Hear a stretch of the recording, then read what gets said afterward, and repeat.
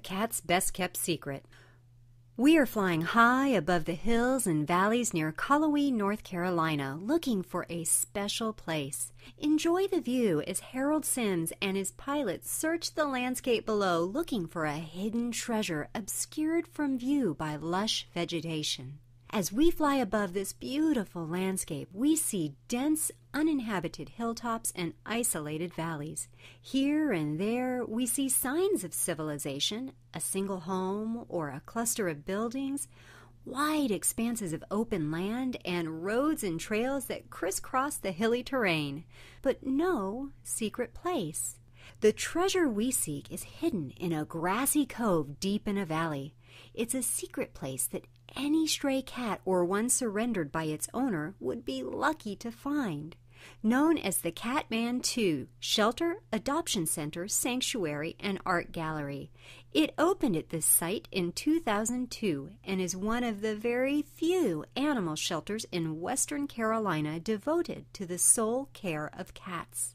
At conception, Catman 2's mission statement barred the sheltering of dogs within hearing distance of the cats. It was to be a place where a cat would be able to relax and never have to endure the sound of barking dogs and suffer the fear that at any minute one may attack while it waits to be adopted.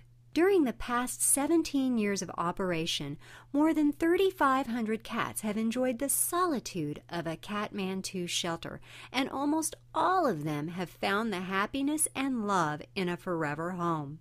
The few who were not lucky enough to be chosen enjoyed a safe haven until, from the ravages of age, they no longer enjoyed a quality of life worth living. Then and only then, with the blessing of the shelter staff and their veterinarian, was a cat ever euthanized. Today, more than 80 cats enjoy the comforts of this home as they await that special person who will come to adopt them. Catman 2 never euthanizes a cat to make space. Each cat admitted to the shelter has a home until his or her time comes. We fly on looking until we find the shelter. We have finally found the Catman 2 shelter complex. In the center, we see the large 4,000 square foot shelter building. Above and to the left is the Catman's home. Down in front and alongside are outbuildings, a barn to store equipment, small sheds, and two rental cabins. Marvel at the beauty of a complex built to provide a safe haven for cats awaiting their forever homes. We circle the complex.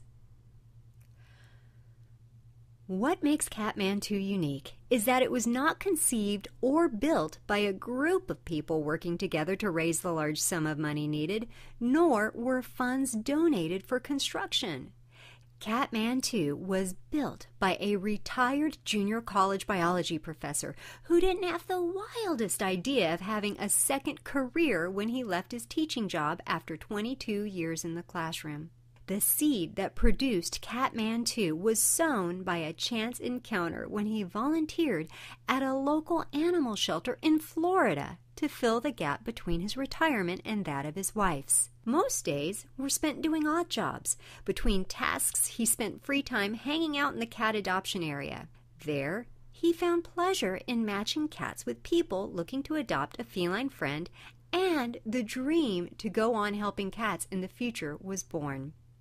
After moving to North Carolina in 1991, Harold tried volunteering at local animal shelters, but found most of them kept only a few cats. Almost all were 90% dog and 10% cats. When he told people his dream was to build a cats only shelter in Cullowhee, it was suggested he go back to Florida and was told, This is dog country. The only cats people want up here are barn cats. Undeterred, and determined to see this dream come true, he went ahead and opened the Catman 2 shelter. It is truly one of the most unique animal shelters in the state of North Carolina and beyond. Harold hopes it will become a model for all cat shelters to follow. Just came back from the flight now. We're back at the shelter. I want to sort of give you a little tour of the outside before we go inside. You can see we have uh, a car park there and the shelter building is in the background. Uh, the buildings on the side there. The first one is an isolation room where the cats coming coming in from the outside are put before they, they get to the vet. The one next to it is a laundry room, where we wash all the linen and bedding for the cats and stuff. And people that live around here also use the washer for themselves. We have a little bit of a garden we're working on now in the front of the shelter, which is a work in process, uh, not quite finished yet. But people will come to uh, visit the cat shelter, and some people have allergies to cats. They can sit in the garden while the others come in and adopt one, hopefully. Walking around the side here, we're seeing the uh, side of the shelter, and we have uh, big cages in each one of the rooms that the cats are. Uh, there are two um, separate rooms and one big major room, and the one on the right here is the one of the, the separate rooms. They've got about 20 cats in each one of them. The other room has about 50 cats in the major room. Uh, the cages are 16 by 16 foot uh, wide. They've got vinyl floors, which are waterproof. If it does rain hard enough to go into the room, which is very rare, it runs out through the loops at the bottom, little crack at the bottom, the water comes out. We, we have a uh, backup generator should the power go off to keep the house, uh, the cats warm winter or summer. Air conditioner is a heat pump, which also heats in the wintertime, cools in the summertime.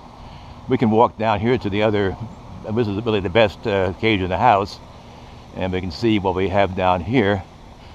Uh, these cats have the most beautiful view of all. We'll turn around look at that in a minute. It's a 16 by 16 uh, cage. They access this by cat doors in the wintertime or by the open door in the summertime when the air conditioning isn't on. And this is a um, screened in room with a chain link fence and chicken wire inside. Chicken wire keeps out uh, birds that may fly into the large mesh in the chain link fence. The bird flies in there, he's like a fish in a, a, fish trap, and he can't get out again before the cats catch him. So we sort of try to keep the birds out to let the cats eat the cat food, forget about eating the birds. Around the back here is our, our storage room for our lawnmower and things like that. Through the main gate now, we have a chain link fence around the outside of the front door of the shelter. This is in case a cat should get loose, it would be caught before it got out into the open and ran away. We do have double doors on the shelter. But very few cats ever get to the past the first door, let alone get out into this. This is just a safety factor. We don't want to lose any of the cats. And Here's that garden we're working on. The little red thing is going to be a catnip bed when the catnip gets in there. We use the catnip to uh, feed the cats. We'll walk in the front door of the shelter and go into the shelter and see some of the rooms and inside of the shelter. This is the front room of the en entrance to the shelter. People walk in the front door and you can see we have another room behind there which is a sort of a meeting room. People can sit on some chairs. We'll be in there later on, take a closer look. But this gives an idea of how the cats have plenty of room to move around.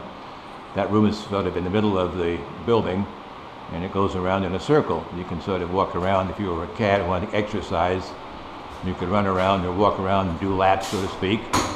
And as you uh, go around here, you can just keep on walking. If you're about 20 feet on each one of these sections of the wall, and uh, you turn here at this end, and you walk down this way and you go another 20 feet and you make another left hand turn here and you go another 20 feet up this way and when you get to the end of the room here you're back to where you started from in the main room.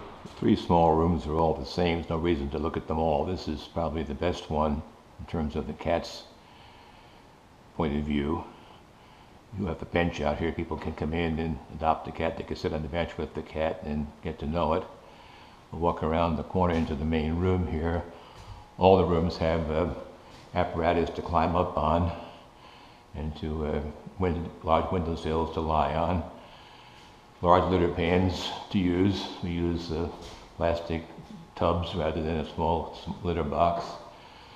The cats access that porch you looked at outside through the cat doors at the bottom in, uh, when the weather is not either too hot or too cold. Right now it's summertime, air conditioning is on in the main building. We have the door closed to keep the cats uh, and get the air from going out. And uh, we walk out to this room, you can see that this is the most favorite of the three we have. And there are many cats enjoying the uh, apparatus to climb on, there are benches to sit on. Uh, again, we have boxes out here. This is probably our most favorite spot because all the cats in the shelter that are in the main room have access to this room. And we do um, alternate the cats from time to time, so cats that are in room without the uh, access to the main lobby um, get to come here uh, every now and then because uh, we don't like to have these cats the only cats with the extra space. We have lights that, of course, can be used at night and uh, keep the door closed to uh, keep in the. Main cage area now. We don't use cages that often. This is really a cats without cages shelter. And we do have some nice new stainless steel cages when we need them. And they're larger than normal. This cage doesn't require a cage to be more than two foot by two foot. We have the cages at least, uh, uh, these here anyway, these here are smaller, but these large ones here are two foot by four foot. That gives the cat lots of room to uh, get around. I have a new, a new cat came in today. I get in the cage, I'll show it to you. Beautiful Maine Coon. Hey, look up here. Here. Beautiful Maine Coon cat. He just came in the other day. Anyway, we have also have in this room, we have a bathtub. If we need to wash a cat, give it a bath, or wash dishes, whatever needs to be done. We have the shower here and the uh, pictures on the wall again. And this is a bathroom here for the, for the uh, staff to use. We have another bathroom, we'll see later, for the public. Going to our main meeting room now. People come in here to sit with the cats. We talk about the adoptions and such. And uh, you can see we have um, lots of artwork on the wall. Hopefully this will be in a museum someday. I'm working on a uh, American Museum of the House Cat, trying to raise some money. It won't be used for the shelter. Any money we raise will be used for the museum and will not take any money from the shelter. We have quite a bit of uh, art. I'll discuss that in another part of the web page someday. But this is a room again about 20 by 20. The upstairs area is just for storage and most of my art collection is up there. This is just a little bit of it down here. We have everything from oil on canvas to cat masks. We have posters. Uh, we, we, have uh, uh, little signs. Uh, this is a little punk down here. It's a thing they threw balls at at the carnival years ago. That sort of thing. We have a fan keeps the air going around. This thing here, when it's turned on, it's quite noisy, but it keeps the uh, the air purified. It's got a UV light and uh, other things that keep the air clean. Makes a lot of noise. Lucky to meet Caleb, our only one employee. Our shelter budget runs around $70,000 a year. Income is earned from sales at a small thrift shop we are associated with. We attend arts and craft shows to sell items we have collected, raffles bring in money for most years, and we do other types of fundraising like car washes, 5K runs, and the like, and from the four books that Harold has published. We receive $2,000 a year from Jackson County, as do all private shelters in the area. We sometimes receive a little money from a small grant, however, most of our income comes from donors, and we hope you will choose to become one. We are transparent about the use of our income and are required by law to give anyone a copy of our annual report, or you may wish to request a 990 form from the IRS. The 990 form is required each year by all nonprofit organizations, and everyone should request a copy before they donate money to any nonprofit group. I am the only paid employee. This is a labor of love. Harold, our founder and CEO, does not take a salary or other compensation. Any income that exceeds our cost is saved for the future. This is placed in CDs in our local bank in the name of Catman2 Inc. When you finish watching this video, go to the bottom of our webpage to learn more about our organization. You can also follow us on Facebook, where I will keep you up to date on all events. New cats are listed when they arrive, and I will keep you up to date on their progress as they adjust to shelter life. We also let you know of any needs we may have and any events we plan. We appreciate your feedback, comments, and suggestions. If you live in the area, we would love to have you as a volunteer. We need all the help we can get, and there are many jobs you can do. Coming just to pet the cats helps to make them more adoptable. I know one is not supposed to blow their own horn, but we believe that Catman2 is the best place any cat in need could ever hope to find. People sometimes ask why we spend money on time on cats when there are so many people in need. We reply, for every cat there is a person. The person who brings a stray or a pet they must give up, and the person who adopts a cat and finds a new friend for life. We hope you enjoyed watching this introduction to Catman 2 and hope you will join us in our efforts please consider becoming a donor and a member of the team. Thanks and so long.